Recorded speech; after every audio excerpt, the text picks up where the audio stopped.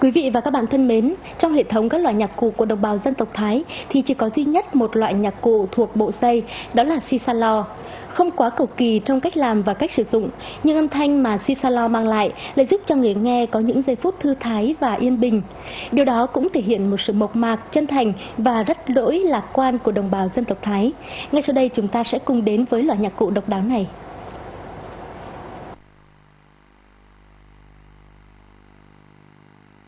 Ống nứa dài khoảng 40 đến 45 cm làm bộ tăng âm. Trên đầu ống khoan lỗ để luồn các then khóa. Có 3 dây kim loại được nối từ các nốt khóa đến lỗ khoan phía dưới ống nứa. 9 lỗ nhỏ để âm thanh phát ra ngoài.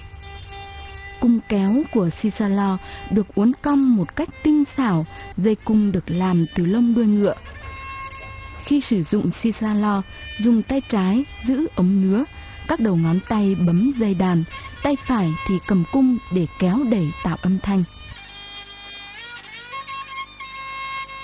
thì thằng ná ni ăn ni miễn là à, dùng bài cứ khóa màn bài cứ lông ấp. lo này có ý nghĩa rất quan trọng đối với cuộc sống của người Thái chúng tôi. Khi vui hoặc khi cần giải bày tâm trạng là chúng tôi đều kéo si sa lo.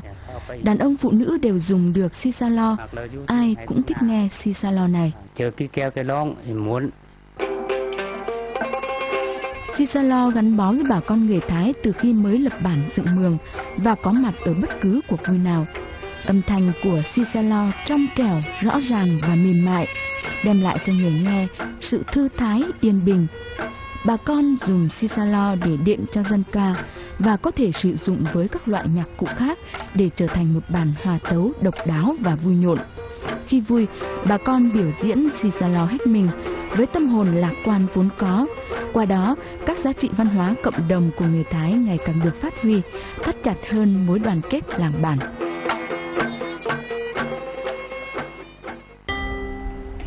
Trong xu thế hòa nhập như hiện nay, có rất nhiều thể loại âm nhạc hiện đại đang đến với bà con. Tuy nhiên, bà con vẫn mặn mà với nhạc cụ dân tộc của mình, trong đó có sisalo, bởi đó là hồn mường hồn bản.